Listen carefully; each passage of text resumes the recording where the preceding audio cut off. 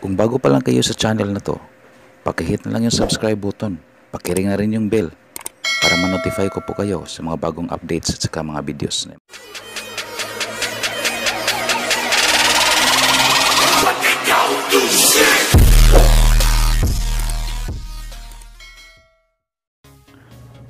Ang kamay kustos cuspidatus, karaniwang pangalan ng maalab na kustos o spiral flag, isang uri ng halaman na may halamang sa pamilyang Custaceae na katutubo sa silangang Brazil. Ngunit ano nga ba ang Custos cuspidatus or insulin plant? Saan ba nanggaling ito? Ayon sa history guys, sa India, ito ay kilala bilang planta ng insulin dahil sa inaangkin itong anti-diabetic na katangian. Ang kamay Custos cuspidatus o insulin plant ay may mga malalaking malalaman na dahon. Ang mga ilalim ng malalaking makinis, madilim na birding mga dahon ay may ilaw na lila sa lilim. Ang mga dahon ay paayos na nakaayos sa paligid ng tangkay na bumubuo ng kaakit-akit. Mga arc chumps, clumps na nagmumula sa mga ground stalks sa ilalim ng lupa. At ang maksimum na taas ng halaman ito ay halos dalawang talampakan. Ang bulaklak ay kulay kahil o may 1.5 o 3.8 cm ang lapad. Ang pamumulaklak ay nangyayari sa panahon ng mainit na buwan at lumitaw ang mga ito na tulad ng isa na mga kuno na ulo ng dulo ng mga sangay. Ngunit ano nga ba ang insulin sa katawan?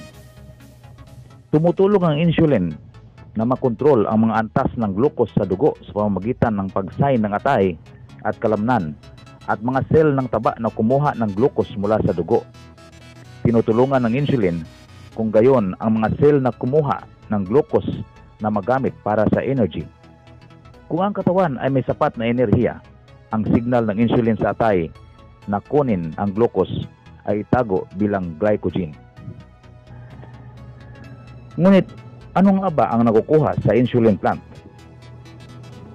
Base sa Kasturba Medical College, Manipal, India, na pag-alaman sa pag-aaral na ang insulin plant ay isang mahiwagang gamot para sa diabetes. Ito ay napakabisa na ang pagkonsumo ng mga dahon ito binabawasan ang antas ng sugar ng dugo. Pinapanatili din nito ang antas ng kolesterol na karaniwang mataas dahil sa diabetes. Ang mga dahon ay anti na ay anti namumula. Itinataguyod nito ang makinis na daloy ng hangin sa baga. Kaya makakatulong upang maibsan ang mga simptomas ng bronchitis at hika. Nagpapakita ito ng mga katangian ng antioxidant na makakatulong upang mabawasan ang stress ng oxidative at pinsala ng mga malulusog na selula. Sa madaling salita, ito ay isang halamang gamot sa pag-iwas ng kanser. Ito ay isang mabuting diuretic. Ang sabaw na inihanda sa mga dahon ng halaman ay ng insulin ay nagdadagdag ng, ng pag-iihi. Nagbibigay din to ng kaluwagan mula sa fever.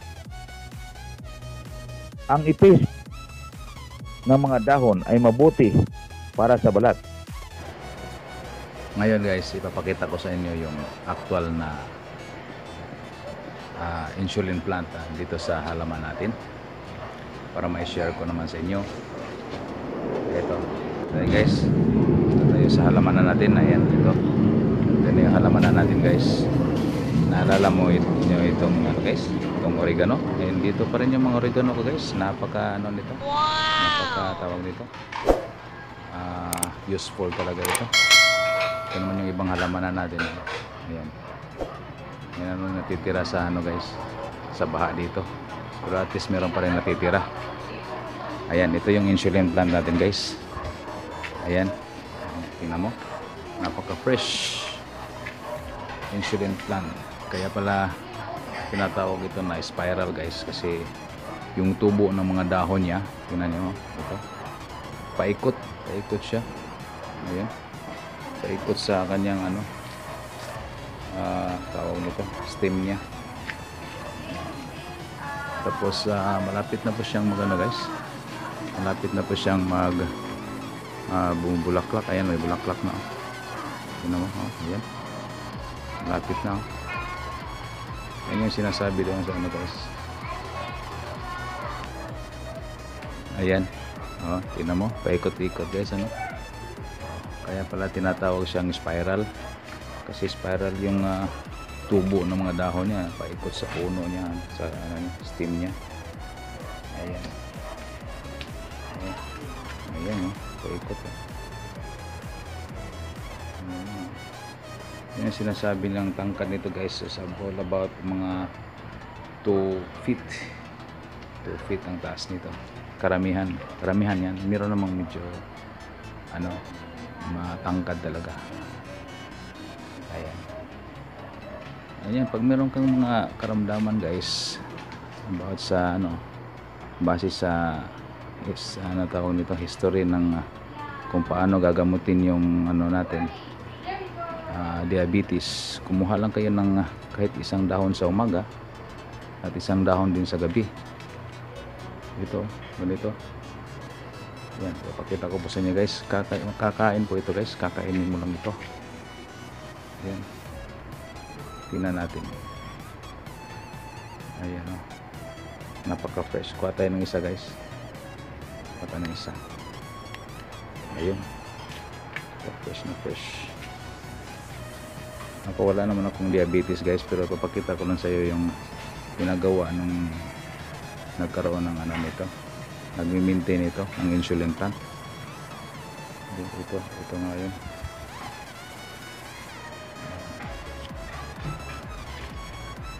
Ito ito guys oh.